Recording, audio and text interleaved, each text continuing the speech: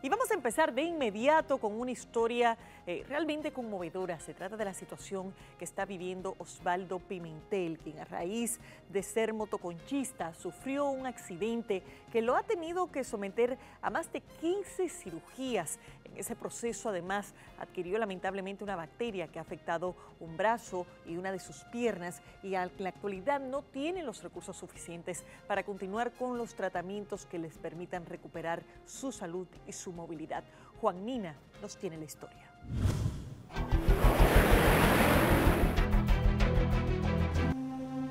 Con su voz doblegada por la impotencia, lágrimas que corren por su rostro, aferrado a una muleta, es como sobrevive Osvaldo Pimentel Puello de 45 años en Cancino Adentro, Santo Domingo Este.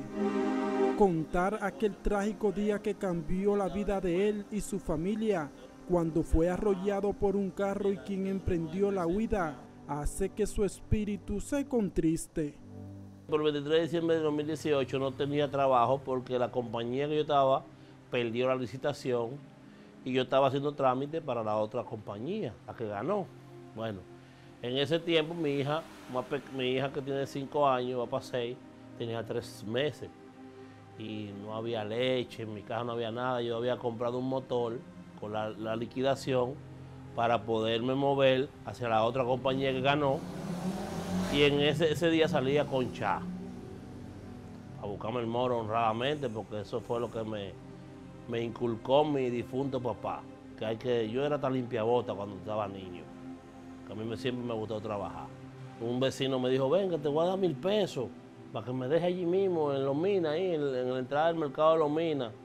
Entonces ahí cuando lo llevé, entré a la bomba de gasolina que está ahí mismo, llené mi tanque de gasolina, usted sabe, preparándome para el 24. Pero cuando desperté, desperté en el Darío Contreras, con el fémur ahí partido, el brazo aquí partido y aquí en la pelvis. Cuenta que al despertar en el hospital tenía el fémur de la pierna izquierda rota el brazo izquierdo por igual y la pelvis o parte final de la columna vertebral fracturado. El Darío Contreras me puso eh, los materiales, donó. Lamentablemente los materiales vinieron infectados y me cayó la bacteria estafilococo en el mismo hueso. El sometimiento a 15 operaciones y la bacteria estafilococos en la pierna se convirtió en un calvario para Osvaldo Pimentel. Duré nueve meses por la pelvis, duré nueve meses que había que ponerme hasta pamper y no logré nunca dar con la persona que me accidentó. Después de ahí, mi hermano, después de la operación, que me hicieron la primera operación, que fue donada por el Darío, me apareció una pelota en la pierna grandísima, volví al Darío. El caso es, mi hermano, que me han operado la pierna 12 veces y el brazo 3.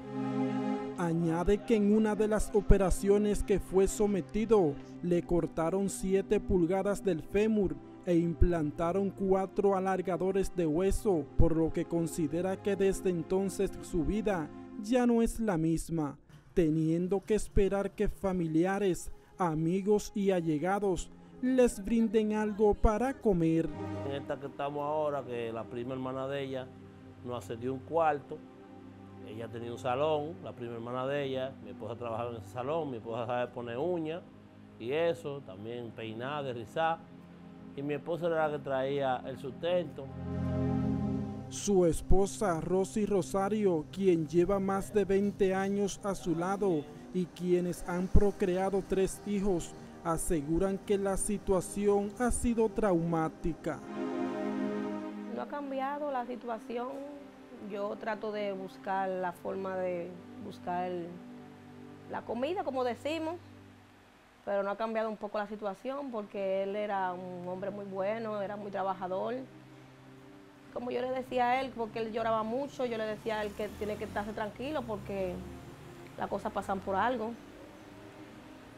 Y le decía que estuviera tranquilo ahí, porque el pobre siempre estaba llorando y llorando y llorando. Sueño mío es yo volverme a ver laborando así sea vendiendo china en la calle. Yo le pido a papá Dios que me dé el brazo.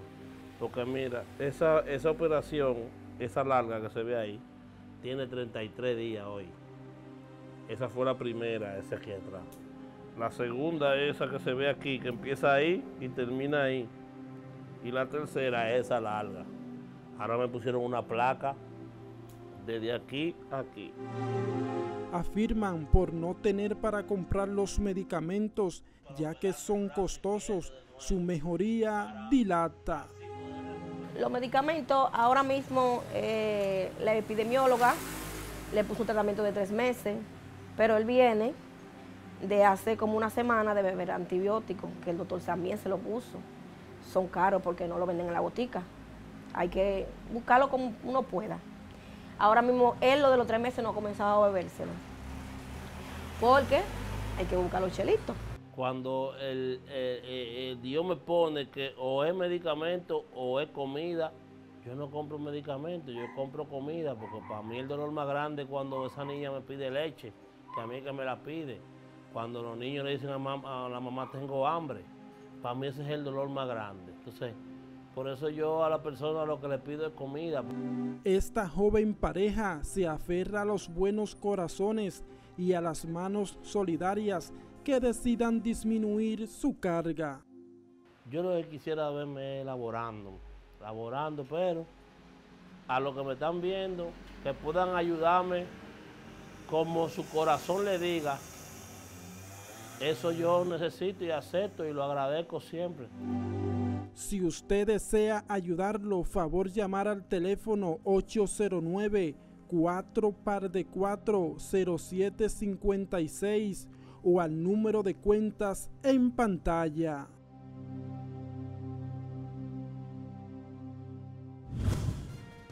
Se trata de una situación ya de supervivencia. Ojalá pueda recibir el apoyo médico y económico que tanto necesita en este momento.